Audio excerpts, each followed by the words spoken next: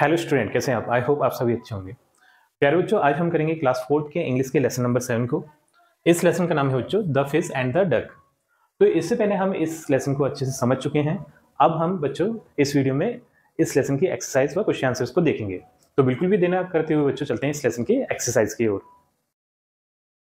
बच्चों, इस लेसन की जो फ़र्स्ट एक्सरसाइज है, वो है लिसन एंड रिपीट तो यहाँ पर हमें एक सेंटेंस दिया है। इसे आपको सुनना है और जैसे मैं आपको बोल रहा हूँ, वैसे आपको रिपीट करना है। जैसे ये दिया है she sells sea shells on the sea shore ठीक? तो यहाँ पर इसका मीन्स है बच्चों सी सेल्स तो ये सेल्स मीन्स है बेचना, ठीक है? और यहाँ पर है सी सेल्स इस सी सेल्स का मीन्स है यहाँ पर संख या फिर सीप। ऑन द सी सोर सी सोर का मीन्स होता है समुद्र का किनारा, ठीक? तो वह संख या सीपी को समुद्र के किनारे पर बेचती है। तो इस इस सेंटेंस का ये मतलब है, ठीक? एक बार और मैं आपको पढ़ के बता देता हूँ। She sells sea shells on the sea shore ये, अब बच्चों, जो नेक्स्ट एक्सरसाइज है, वो है रीड एंड लर्न पढ़ो और सीखो। तो यहाँ पर हमें कुछ वर्ड्स दिए हैं। उनका जो प्रोनाउंसिएशन है, वो सेम है, लेकिन उनका जो मीनिंग है, वो डिफरेंट डिफरेंट होगा। तो यहाँ पर देख लेते हैं, ये भी साइन है और ये भी साइन है। तो इस साइन का मीन्स होता है बच्चों, संकेत। ठीक? संकेत। लेकिन ये जो साइन है, इस साइन का मीन होता है चमक। तो यहाँ पर आपको इस साइन का मीन्स चमक मिलेगा, ठीक? ये है सिप सिप मीन्स होता है घूट, ठीक? घूट। और ये सिप का मीन्स होता है पानी का जहाज़ या फिर समुद्र का जहाज़, ठीक है? या फिर जलयान भी बोल सकते हैं हम, जलयान। ये जो सेल है, इस सेल का मीन्स होता है बेचना। और ये जो सेल है, इस सेल का मीन्स होता है सीप या संख यहाँ पे मैं संख लिख रहा हूँ, लेकिन सीप भी होता है इसका मीन्स ठीक? ये जो सी है, इस सी का मीन्स होता है समुद्र। तो यहाँ पर मैं लिख देता हूँ समुद्र, ठीक? ये जो सी है, इस सी का मीन्स होता है वह। तो ये स्त्रियों के लिए वह का उपयोग होता है, ठीक? स्त्रीलिंग के लिए स्त्री लिंग के लिए इस वह का प्रयोग होता है। बच्चों, ये जो शोर है एस ओ आर ई शोर इसका मीन्स होता है पीड़ादायक, पीड़ा दायक। ठीक? या फिर पीड़ा देने वाला, दर्द पहुँचाने वाला, ठीक? ये जो शोर है, इसका मीन्स होता है किनारा, ठीक? किनारा। इस तरीके से हमने देखा बच्चों, ये जो वर्ड्स थे, सुनने में एक जैसे थे, लेकिन इनका जो स्पेलिंग और मीन है, वो डिफरेंट डिफरेंट है, ठीक? अब बच्चों, जो नेक्स्ट एक्सरसाइज है, वो है वर्ड पावर तो यहाँ पर दिया है इसमें ए नंबर वाला realise this letters to make words and write them तो यहाँ पर बच्चों, हमें कुछ लेटर्स दिए हैं, जो कि सीक्वेंस में नहीं है। उसका कोई वर्ड नहीं बनता। तो हमें उन लेटर्स को सीक्वेंस में जमा कर एक वर्ड बनाना है। जैसे कि ये जो इन्होंने कुछ लेटर्स दिए थे तो इन लेटर्स से इन्होंने ये वर्ड बना दिया स्विम ठीक? इसी तरीके से ये जो फ़र्स्ट वाला है, इन्हें भी हम जमा कर एक वर्ड बना देते हैं। ये हो जाएगा एस ई ए सी ठीक? नेक्स्ट है, ये जो लेटर्स दिए हैं, इनका भी हम वर्ड बना देते हैं। ये हो जाएगा S H E double L shell ठीक? ये है, इसका भी वर्ड बना देते हैं। ये हो जाएगा L A U G H laugh ठीक? इसका वर्ड बना देते हैं, ये हो जाएगा सौ एस ए डब्ल्यू सौ। और ये, इसका वर्ड बना देते हैं हम, ये हो जाएगा sheep S H double E P sheep तो यहाँ पर देखा हमने, यहाँ पर बच्चों, जो लेटर्स थे वो सीक्वेंस में नहीं थे, और उन लेटर्स की हेल्प से हमने इन्हें सीक्वेंस में जमा कर वर्ड्स बना दिए, ठीक है? तो इस तरीके से आप भी वर्ड्स बना सकते हैं।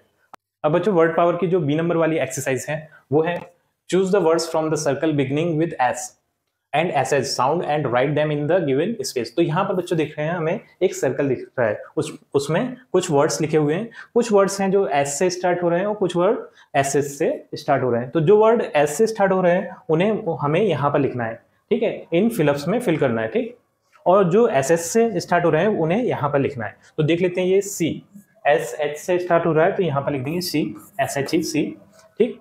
नेक्स्ट है सेल तो ये एस से स्टार्ट हो रहा है तो ये यहाँ पर आ जाएगा S E double L sell ठीक? सिप एस एच से स्टार्ट हो रहा है तो ये यहाँ पर आ जाएगा S H I P ship next है सीन ये एस से स्टार्ट हो रहा है तो ये यहाँ पर लिख देंगे हम सीन एस वाली लाइन में सेल तो ये एस एच से स्टार्ट हो रहा है तो यहाँ पर लिख देंगे S H E double L shell set S से स्टार्ट हो रहा है तो यहाँ पर लिख देंगे एस सी टी सेट ठीक? सी एस से स्टार्ट हो रहा है तो यहाँ पर लिख देंगे S E double E C shop S H से स्टार्ट हो रहा है तो यहाँ पे लिख देंगे S H O P shop इसी तरीके से ये जो सी है एस से स्टार्ट हो रहा है तो यहाँ पे लिख देंगे एस सी ए सी और ये एस एच ई सी ये वर्ड बच्चों रिपीट हो गया है, ये S H E C S H E C ये यहाँ पर हम लिख चुके हैं तो इससे दोबारा नहीं लिखेंगे, ठीक? तो इस तरीके से ये एक्सरसाइज भी कंप्लीट अब बच्चों वर्ड पावर की जो सी नंबर वाली एक्सरसाइज है, वो है find the opposite and write them तो यहाँ पर हमें कुछ वर्ड्स दिए हुए हैं उन वर्ड्स के हमें अपोजिट ढूंढकर और लिखना है, ठीक?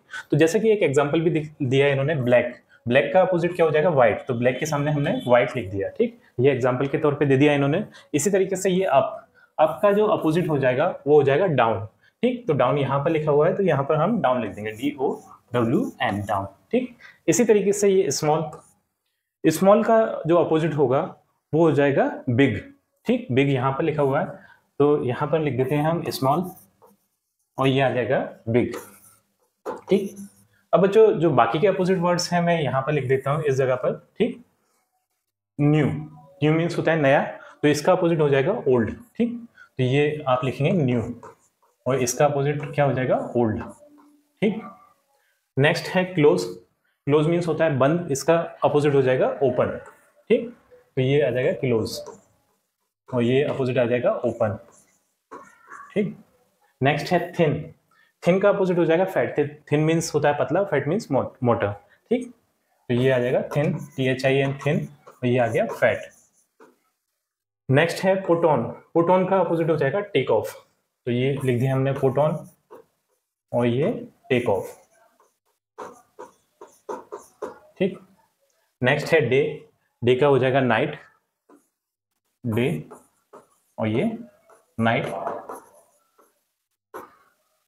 टेक ऑफ़ हो गया फैट हो गया। तो इस तरीके से बच्चों, सभी अपोजिट हमने लिख दिए हैं। इन अपोजिट वर्ड्स को आप याद भी कर लीजिएगा, ठीक? अब बच्चों, जो डी नंबर वाली एक्सरसाइज है, वो है write all the S H words in the fish तो यहाँ पर एक फिज दी है तो उसमें हमें एस एच से जो स्टार्ट वर्ड होते हैं, उस, वो फिज के अंदर लिखना है, ठीक? इसी तरीके से एंड सी के वर्ड्स इन द डक और जो सी के पे लास्ट लास्ट में जिन वर्ड्स के सी के आता है, उन्हें यहाँ पर एक डक दी है, उन्हें यहाँ पर लिखना है। तो देख लेते हैं पहले, ये देखिए सिप तो सिप एस एच से स्टार्ट होता है तो ये फिस्क में आ जाएगा, ठीक? S H I P ship ठीक? नेक्स्ट है डक तो डक बच्चों, नीचे की साइड है, मैं डक वाले वर्ड इधर लिख देता हूँ, आप डक के अंदर लिख दीजिएगा, ठीक? तो ये डी यू सी के क्योंकि ये सी के पे बच्चों एंड हो रहा है, इसलिए हमने डक के अंदर लिखा, ठीक? इसी तरीके से ये लक ठीक? ये भी डक में आएगा तो ये आ जाएगा एल यू सी के लक शू ठीक? शू फिस में आ जाएगा तो ये आ जाएगा एस एच ओ ई क्योंकि ये एस एच से स्टार्ट हो रहा है, ठीक? लॉक तो लॉक सी के पर एंड हो रहा है तो ये यहाँ पर डक में आ जाएगा एल ओ सी के लॉक ठीक?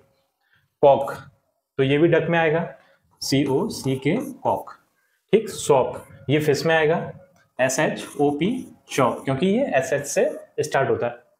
ब्लैक तो ब्लैक भी बच्चों डक में आएगा तो मैं यहाँ पर लिख दे रहा हूँ black B L A C K black ठीक? शीप एस एस से स्टार्ट हो रहा है तो ये डक में आ जाएगा sheep. S H double E P sheep. Shell तो एस एस से स्टार्ट हो रहा है तो ये भी फ़िश में आएगा तो ये यहाँ पे लिख दे रहा हूँ मैं, शीप। शेल सॉरी ठीक?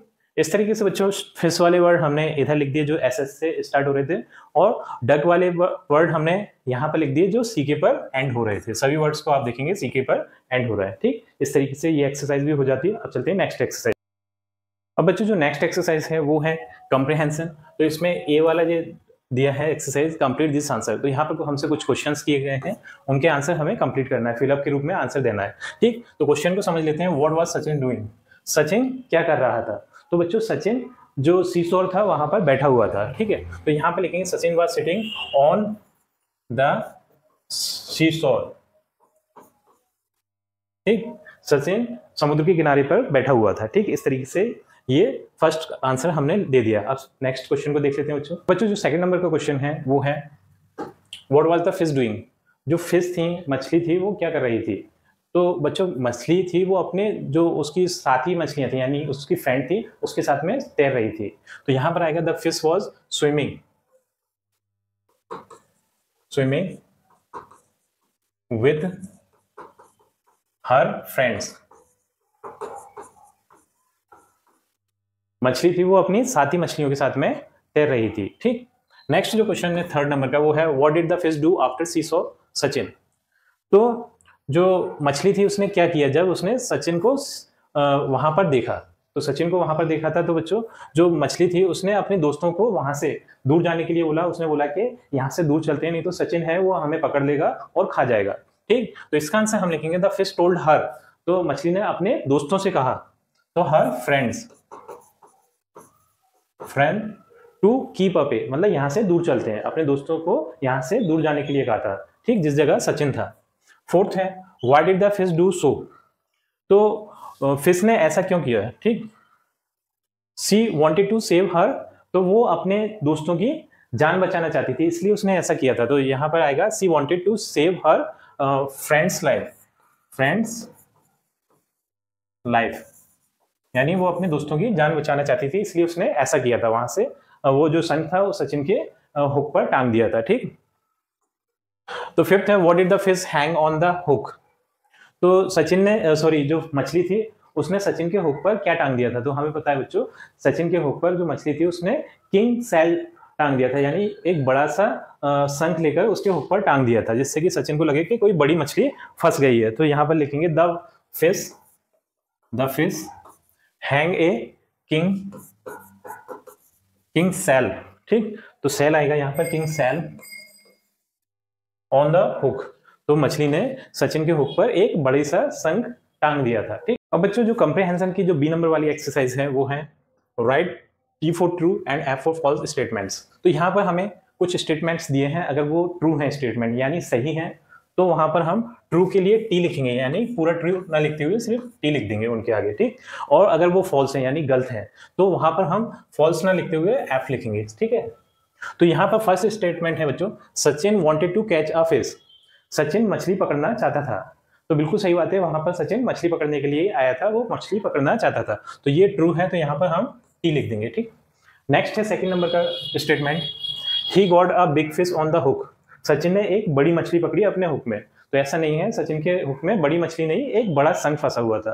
तो ये स्टेटमेंट गलत है। तो यहाँ पर फॉल्स के लिए हम एफ़ लिख देंगे, ठीक?